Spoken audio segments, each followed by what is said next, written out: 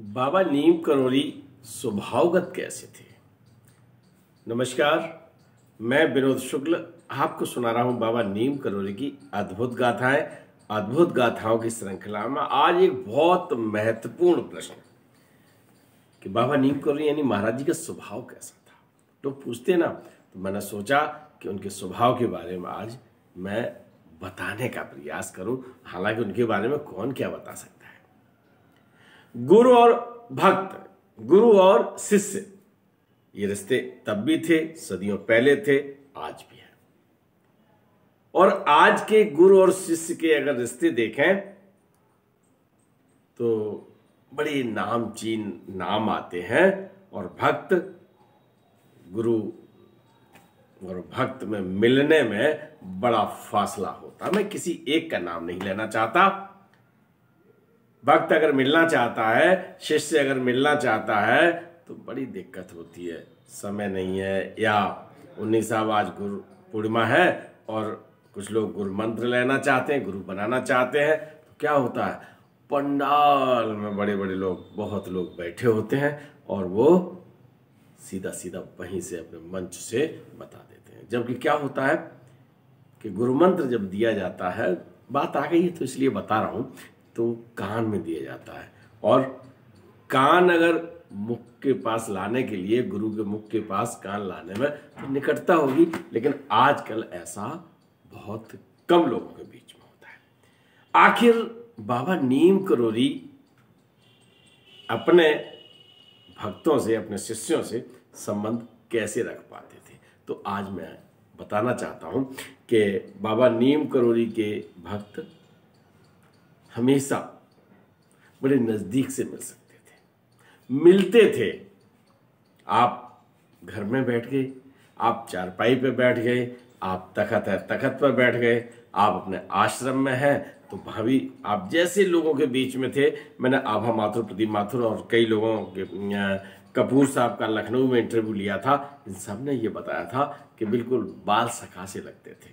क्योंकि कपूर साहब माध्यमिक शिक्षा परिषद की क्लासें ले रहे थे आठवें और दसवें के लगभग थे तो महाराज जी उनका हाथ पकड़ लेते थे और चले जाते थे। आभा माथुर ने बताया था कि महाराज जी बैठे हुए और हम लोग तखत के नीचे खेल रहे बातें ऐसे बहुत सारे उदाहरण हैं। तो महाराज जी के बीच में गुरु और शिष्य ऐसे रहते थे, जैसे एक ही बाग के या एक ही वृक्ष के दो फूल हैं। भक्तों को पूरी छूट होती थी। पैर छू लिए, गले भी लग गए। भक्त को कुछ कहना है तो अपनी बात कह सकते हैं। और बात अगर भक्त ने कही है और महाराज जी ने नहीं सुनी है तो रूठने का भी पूरा मौका होता था। और अगर महाराज जी ने कोई बात कही, भक्त ने अपनी बात कही, और अगर दोनों लोगों की एक धारा में बात नहीं आई तो बहस भी होती थी।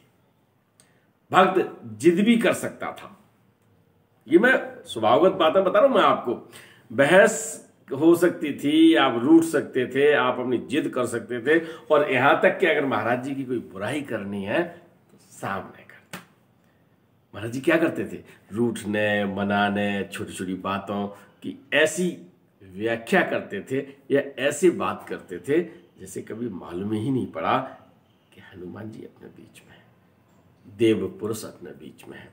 एक महान पुरुष, युग पुरुष हमारे बीच में नहीं मालूम पड़ा।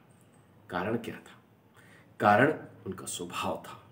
आप बच्चों के बीच में बैठे तो बच्चों जैसी बातें करने लगे, आप बुज़ुर्गों के बीच में बैठे हैं तो बुज़ुर्गों जैसी बातें की, आप युवाओं के बीच में बैठे हैं तो युवाओं के, सही मतलब वही माहौल, वही बात। है तो उसमें होता क्या था? उनका स्वभाव था कि वो समायोजित हो थे अब आप सोच रहे होंगे, ये सब बातें ऐसे ही बता दी।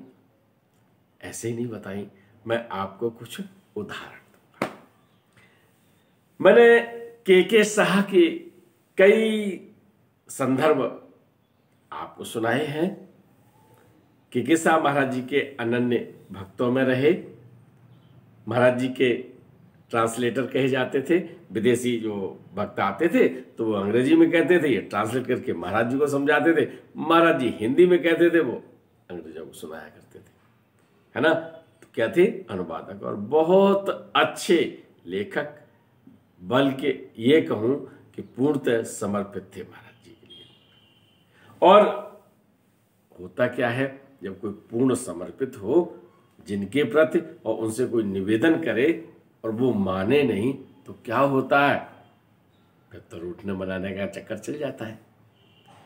एक बार के के शाह ने यह कहा कि महाराज जी, हमारे घर पर पधारो। महाराज जी ने कोई उत्तर नहीं दिया। के के शाह ने दोबारा कहा कि महाराज जी, घर पे आओ। और महाराज जी ने सुना अनसुना कर दिया। दोबारा फिर कहा उन्होंने कि महाराज जी, आपको घर आना है? महाराज जी मुस्कुराए और कुछ जवाब नहीं दिया। के के शाह को गुस्सा आ गया। आएगा ना? बार बार निवेदन कर रहे हैं महाराज जी लिफ्ट ही नहीं दे रहे। के के शाह आश्रम से उठे और अपने घर चले गए। बोले हम नहीं, इनसे चलो, ठीक है। हमारी बात नहीं मान रहे, हम पूरा इनकी सेवा कर रहे, निश्चल भाव से लगे हैं, अपने समर्पित किए हुए महाराज जी, हमारे घर नहीं आएँगे। वैसे जहाँ जाओ जब चाहो, आदमी लेवा जाता है। के के शाह नाराज़ हो गए और के के शाह यहाँ तक नाराज़ हुए कि इन्हें ज़रूरत हो तो हमारे पास आए। समझ रहे हो? क्या कह रहे हैं? अगर इन्हें हमारी ज़रूरत हो तो ये मेरे पास आए और अपने घर रूट के बैठ गए। और इधर महाराज जी अनन्य भक्त हैं। महाराज जी को भी लगा, लेकिन महाराज जी न गए और नहीं उनसे कोई खबर। ये चलता रहा, कुछ दिन बीतते हैं। इसके बाद महाराज जी का एक प्रोग्राम बनता है नैनीताल का। कैची धाम में थे, नैनीताल और नैनीताल आना जाना रहता था। तो उन्होंने खबर भिजवा दी कि हम नैनीताल में इनके यहाँ मिलेंगे, जिस वक्त के यहाँ जाना था। और जो भक्त हमसे मिलना चाहे वहाँ आ जाए। महाराज जी वहाँ गए और आपको बता दें कि वो घर के के शाह के घर के थोड़े नज़दीकी था। के के शाह को खबर मिली कि महाराज जी आए हुए हैं। के के शाह कुछ काम करने के लिए बाहर जाना चाहते थे। बाज़ार जार का घर में कहीं के के शाह निकले ही नहीं गए अपने घर में बैठे रहे। अब इधर महाराज जी ने देखा कि के के, के नहीं आया किलास कहते थे किलास। क्या कहते थे? किलास। अब कि शाह अपने घर पर बैठे हैं और वो भी में बहुत दुख लिए बैठे हैं। लेकिन एक बात थी ना, उनको लगता था कि महाराज जी को हमारे यहाँ आना चाहिए। और महाराज जी, अपने भाई उधर है, इनको वहाँ जाना चाहिए। आपका क्या, आपकी राय है कुछ? आपकी राय, चलो जो हो देखना। लेकिन हुआ क्या? के के सहा अपने घर बैठे हैं, संध्या का समय हो गया है, और उस बेला में महाराज जी की आवाज़ सुनती है कैलाश कैलाश अब इस तरह से जब आवाज़ दरवाजे पे कोई ये देता है, के के शाह एकदम छत पे बैठे, बड़बड़ा के आते हैं। और देखते हैं महाराज जी दरवाजे खड़े हैं, महाराज जी के चरणों में गिर जाते हैं। भक्त की लाज रखने के लिए भगवान घर पर आ गए। तो देखिए, जिद की ना, रूठे। मैं आपको यह बता रहा हूँ कि रूठने मनाने का क्रम भी चलता था। बहस भी होती थी। चलिए, एक और घटना मेरे संज्ञान में आ रही है। याद आ रही है तो मैं आपको बता रहा हूँ। प्रकाश चंद्र जोशी है। वो महाराज जी की अल्प प्रवासों में ज़्यादातर साथी होते हैं। और क्या होता है जहाँ महाराज जी बैठते हैं, बैठे हैं ना, देख रहे हो? महाराज जी बैठते हैं, वहीं आसपास मुकुंदा कहते हैं मुकुंदा प्रकाशन जोशी का, उन्होंने एक पुस्तक लिखी हुई है। उसमें बड़ी सारी कथाएँ महाराज जी की दी हैं। तो मुकुंदा साथ में होते हैं। एक दिन नैनीताल में ही एक भक्त के यहाँ गए और महाराज जी ने बाहर ही कह दिया, अरे मुकुंदा, तू वहाँ बैठ। और वो बाहर बैठ गए अब जो साथ में उसी कमरे में बैठता हो, महाराज जी का के लिए आया हुआ नाश्ता, उसी में से नाश्ता खाने को मिलता हो सब चीज़ें वही मिलेगी ना। और पंखा चल रहा तो वही हवा मिलेगी, है ना? और आज बाहर बैठा दिया है। मुकुंदा को लगा कि यार मेरी तो बेजती हो गई, है? अब वो बैठे महाराज जी को चाय नाश्ता आया, इसके बाद उन्हें भेजा गया। अरे होता ना, घर में कोई आया है और आने के साथ जो आया, उसको भी किया जाता। वो वहाँ बैठे थे, उन्हें चाय नाश्ता नहीं किया। फिर महाराज जी ने जाना कि आज तो मुकुंदा नाराज़ हो गया। उन्हें आवाज़ लगाई और प्रकाश चंद जी अपना मुँह ऐसे किए बैठे थे, ऐसे और कर लिया कानों में आवाज़ आ रही है और नहीं सुन रहे। थोड़ी देर बाद फिर महाराज जी ने कहा, मुकुंदा! और मुकुंदा जो है, अपने चुपचाप है। क्या होता है? महाराज जी उठते हैं और उठते फिर आधी रास्ते में आते। आधी रास्ते में बीच में आए दरवाजे के बाद बोले, आ, इधर आ जा, यहाँ बैठा के और ज़्यादा टेढ़े होके वहीं बैठे रहते हैं। न खाते हैं, न पीते हैं, बैठे रहते हैं। महाराज जी, वहीं बैठे रहते फिर अपने तखत में विराजमान हो गए। अब क्या है? मुकुंदा नाराज़ है। महाराज जी, खा पी रहे हैं।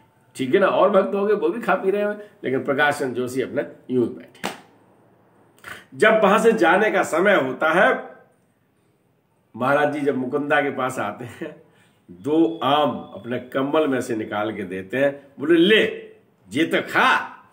और जैसे ही देखते हैं मुकुंदा, आँखों से आँसू आ जाते हैं।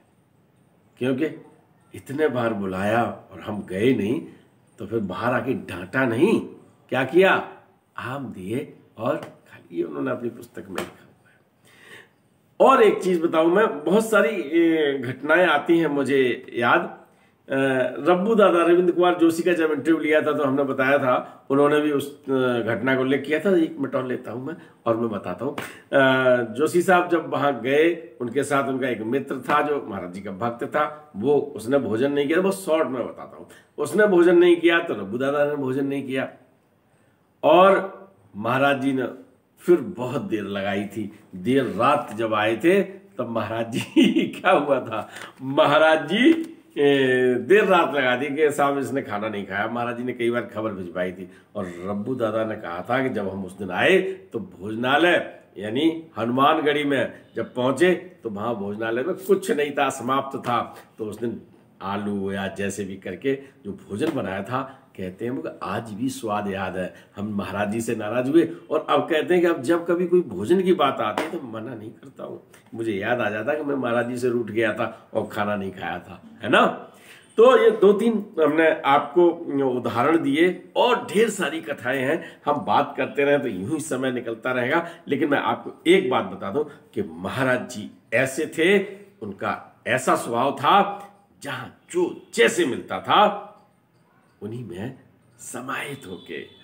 भगवान तो ऐसे ही होते ना, उन्हीं के साथ, उन्हीं परिस्थितियों में और ऐसे बन जाते थे जिससे भक्त को कभी कष्ट न हो, बल्कि चुपके से कृपा बरसाते थे। आप भी तैयार रहिएगा। आपको कभी कोई स्वभाव के बारे में बात आए तो चिंता ही मत करो। एक और चलते चलते मैं एक घटना और सुना दूँ।